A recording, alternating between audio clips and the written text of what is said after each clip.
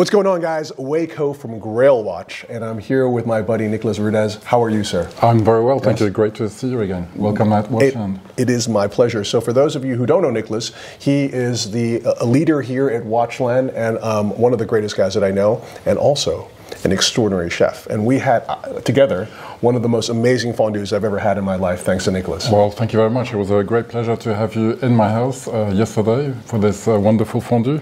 And we were talking about the spoon, and I told you how important it is to stir the fondue always in the same shape, and that's during the eight shape. Yes. I, I, this is the interesting thing was like I tried to make fondue in my house before, um, and something was always a little bit missing. And it was only when I was uh, watching Nicholas, he said, you know, actually you have to use a very special spoon, a spoon with a hole. Correct. It's all in the spoon. Uh, a lot of it is in the spoon. So for your next fondue in Singapore, I would like to offer you this. Uh, uh, holy grail of spoons for your fondue. That's amazing. And I love that it's got a heart in the center of it as well. Nicholas, thank you, sir. My pleasure. That's great. Pleasure. So, guys, now we're going to transition from talking about cheese, which is clearly one of my favorite subjects, you know, uh, to second. My, my second favorite subject, to my, my absolute favorite subject, which is watches. And what a watch we have to discuss today. When I think of iconic watches, you know, Franck Muller has created so many of these, right? And there's a period in the 1990s where you see such design richness combined with amazing complications. You know, tell me about this period for you, Nicholas.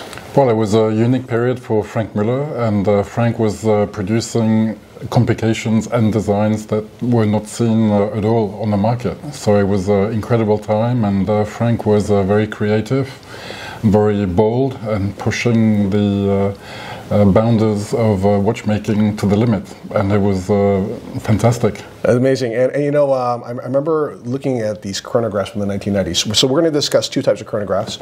One is a, a, manual wind chronograph with a, with a Lemania movement that is kind of a tribute to the classic chronographs of the 1940s, right? Correct. And then the second one is also a, a pretty amazing watch as well. It's a double-sided chronograph, which means that the pinion of the chronograph hand travels all the way from the dial to the back of the watch, where you find a second dial, and you see that there's all these amazing scales on there as well, Correct. which is such a genius idea. Measurement tools. Absolutely. But let's talk about that first watch. So I don't know if you guys have been following sort of the vintage watch collecting world. You'll see that like the Franck Muller chronographs from the 1990s suddenly emerged. I think it was on, I think a, a Collected Man, a Silas's site that I first saw, Silas Walton's site that I first saw it.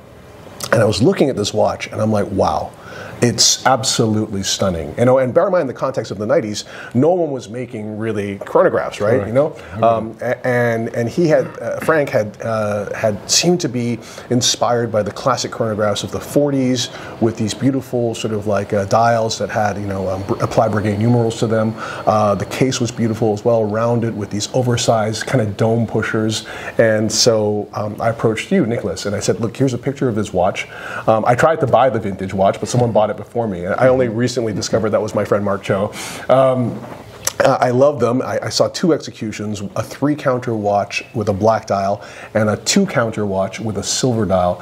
And I, I approached Nicholas and I said, Nicholas, would it be possible, sir, if we could kind of revive these watches and make them as a collaboration between us? Absolutely. All right. And, and it was a pleasure to go and discover our uh, stock. And we were fortunate enough to have uh, the right movements and uh, beautiful old um, dials as well.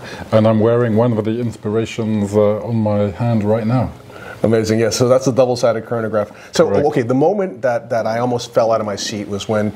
So we were discussing this watch in particular, and um, Nicholas was like, you know, Wei like we could put a modern movement in it, we could put an automatic movement in it, but it would change the dimensions of the watch quite significantly and make it quite thick. And this watch is actually qu- relatively slim because it's got a manual wind movement in there. Very slim, very elegant. Yes. And he said, let me try to see what I can find. And when he brought out these trays of new old stock vintage Lemania 1874 movements from the 1990s, I almost like started crying. I couldn't believe it. It was just such an extraordinary moment. Very emotional moment.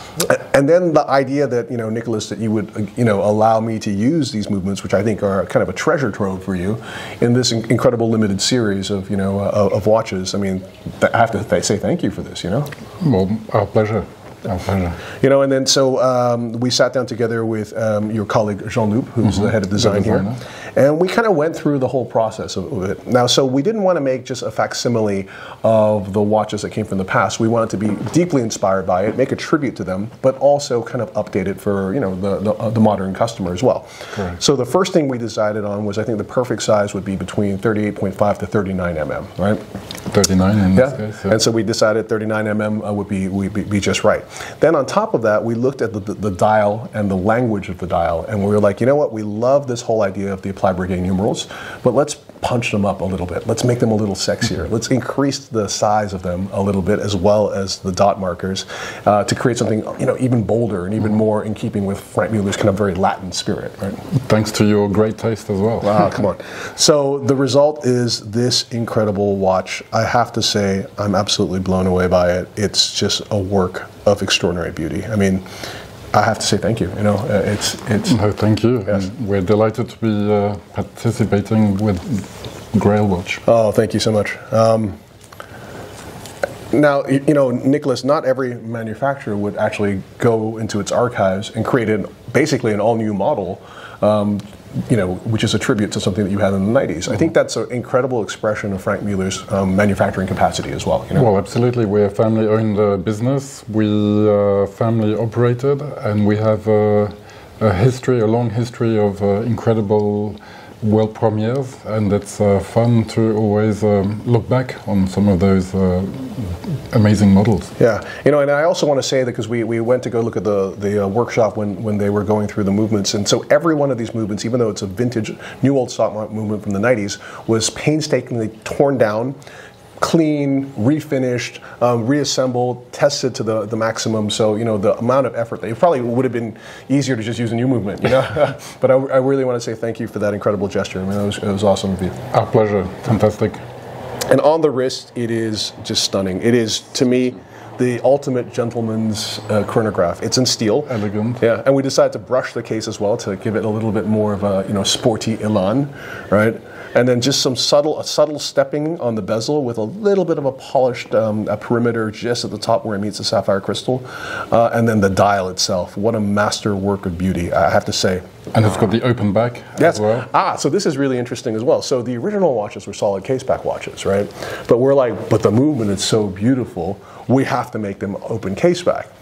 But then we were like, you know, the original idea that Franck had was that he wanted these watches to be amagnetic. He wanted them to be tool watches. So you can actually choose which case back you would like because we've actually supplied a second case back, which is a solid case back, right? Correct. Thank you. Amazing. Thank you. Nicholas. This is so cool. So, guys, uh, stay tuned. We'll be launching this soon, and um, I hope for those of you who get one, uh, you love it as much as I do. It is uh, an incredible part of watchmaking history, a huge tribute to what Franck Muller was doing in the 90s, but continues to do today. Uh, and, and I absolutely love it, and I'm super honored, sir. Thank you. Our great pleasure. Thank you, Wei. Cheers, guys. Thank you, Grail.